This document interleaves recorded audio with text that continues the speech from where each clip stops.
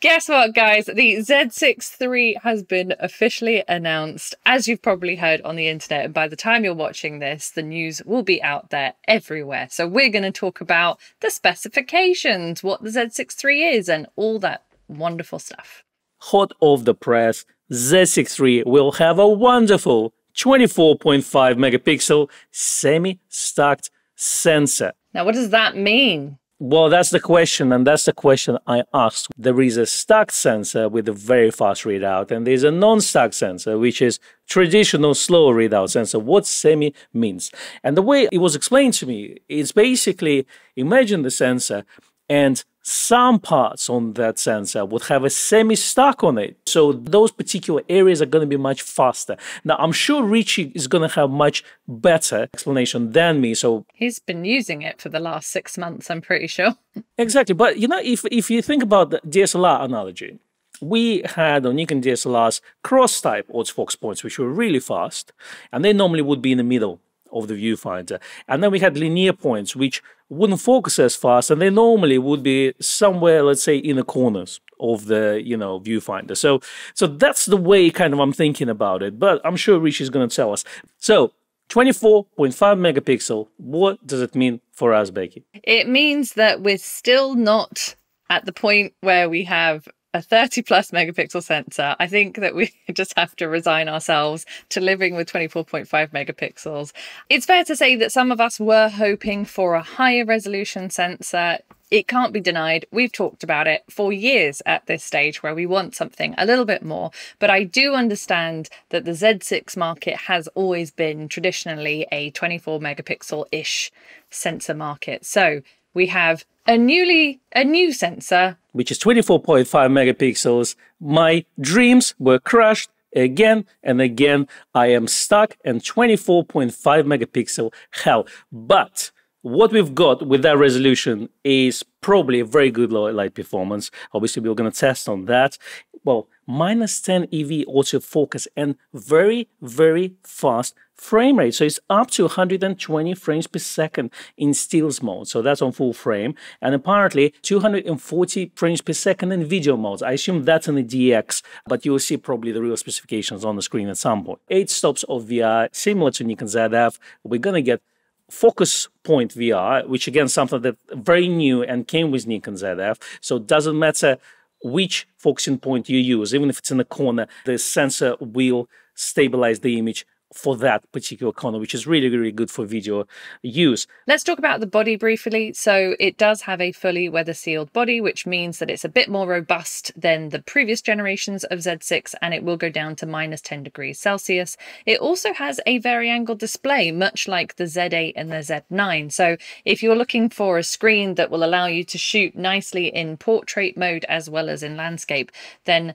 personally I prefer the Z8, Z9 version over, let's say, the ZF and even the Z6 and Z7 version. Now, the body itself is actually bigger. We are now kind of sitting in between of traditional Z6 and Z7 line, which is small and compact, bigger than that, but then smaller than Nikon Z8. So it's kind of sits somewhere in the middle, but that's what brings the robustness and weather sealing to the body. I personally will take that body over traditional Z6, Z7 because you know the case of hanging pinky that we talked about for years.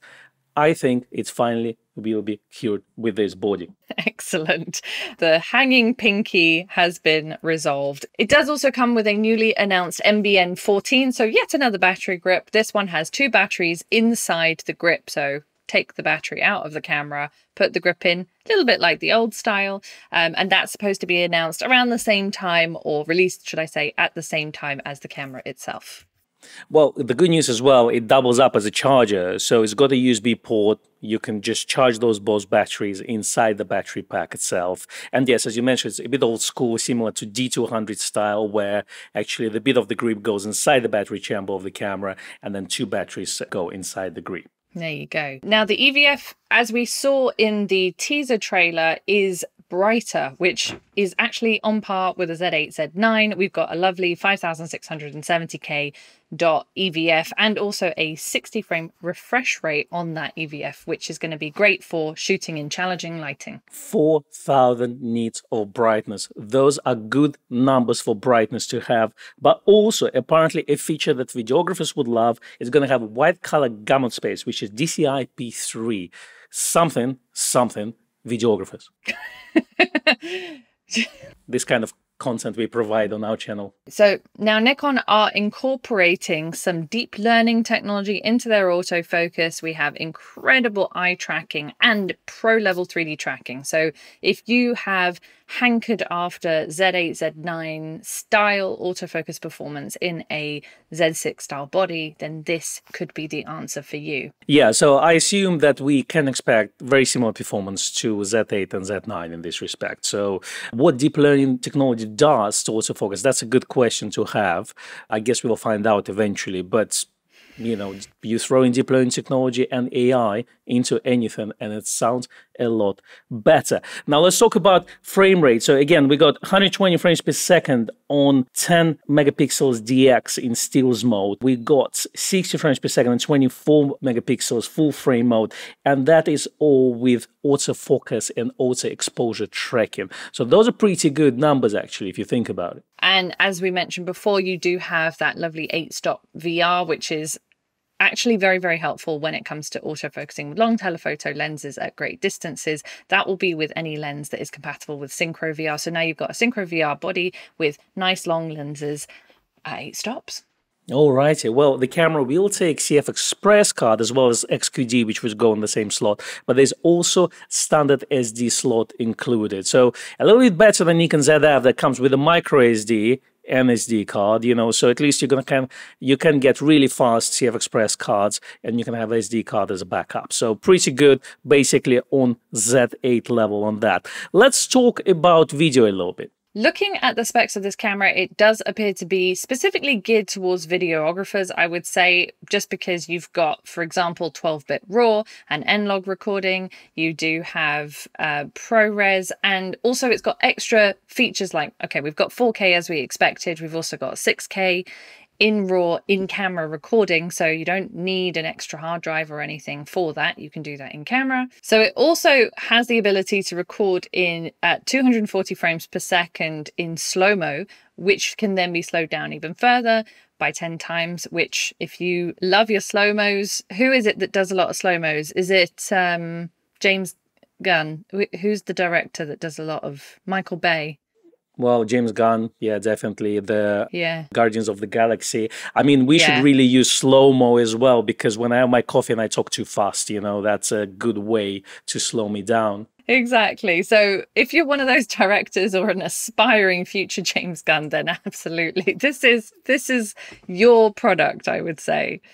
Absolutely. Well, let me throw in some things at you as well. We got 6K at 60 frames in RAW, which is nice. So that's fast. That's a lot of data. Think about this. There's also 5.4K in YUV color space. All right. So go wow. Google that. Now, if you don't like NRAW, and apparently NRAW is only available in Blackmagic uh, DaVinci Resolve software, you can also record in ProRes, which a lot more people know how to use and it's definitely if you are shooting a footage for someone and you need to deliver files to editor then ProRes is going to be quite useful.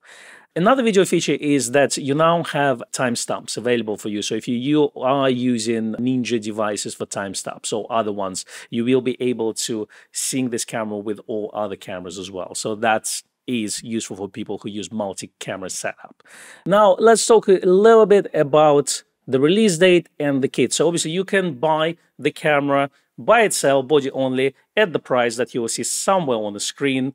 You will also be able to purchase a 24-70 f4 kit, a standard 24-70 f4, but also 24 to 120 f4 kit, which is I think a little bit more desirable because 24 to 120 lens is extremely good. Now, the cameras are expected to arrive sometime next week and Nikon is expecting to have good stock of those. So for people who are ready to pre-order, definitely get in touch with Grays or your local dealer and put your pre-order ASAP. We're very excited to actually put this camera in our hands. Believe me, when we have one, we will definitely be doing a review or five of it and all the various different features. So expect lots of content to come based around the Z6 Mark III.